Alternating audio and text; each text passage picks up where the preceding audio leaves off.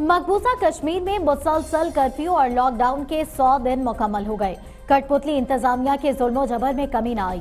خوراک اور ادویات کی شدید قلت سخت سردی میں کشمیریوں کا جینا محال ہو گیا۔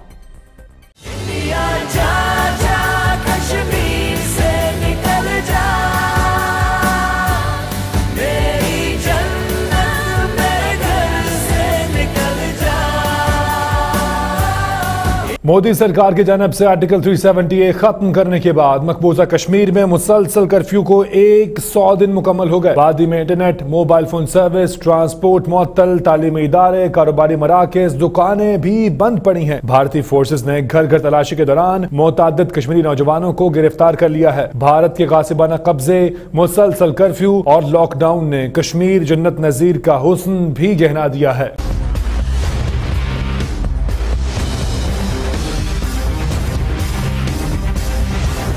کشمیری نوجوان، بچے، بزرگ اور خواتین اپنے لہو سے آزادی کی جدوجہد آگے بڑھا رہے ہیں۔ پانچ اگست سے کشمیری گھروں میں محصور ہیں۔ تعلیمی ادارے بند، ٹرانسپورٹ معطل ہے۔ کاروباری مراکز کی مسلسل بندش نے کشمیریوں کے روزگار تباہ کر دیے ہیں۔ بھارتی فورسز گھر گھر تلاشی کے بہانے، چادر اور چار دیواری کا تقدس بھی پامال کر رہی ہے۔ مختلف علاقوں کے محاصرے اور چھاپوں کے دوران متعدد کشمیری نوجوانوں کی گرفتاری اور خواتین کی عصمت دری کا سلسلہ بھی نہ رک سکا۔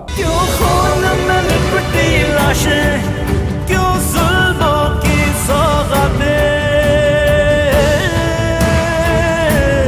تمام تر پابندیوں کے باوجود بھارت سرکار کشمیریوں کی جدوجہد آزادی کو دبانے میں ناکام رہی۔ نہت کشمیری حق کے خود ارادیت کے حصول کے لیے سڑکوں پر احتجاج کر رہے ہیں۔ احتجاجی مظاہرے کرنے والے کشمیریوں کے ساتھ قابض فوج کا سلوک درندوں سے بھی بدتر ہے۔ جھڑپوں میں ظالم درندہ صفت فوج کی طرف سے پیلٹ گنز کا بے دریغ استعمال کیا جاتا ہے، جس سے درجنوں کشمیری زخمی ہو گئے ہیں۔ آزادی کے لیے آواز اٹھانے پر بھارتی سیکیورٹی فورسز نے سینکڑوں کشمیریوں کو گرفتار کر لیا۔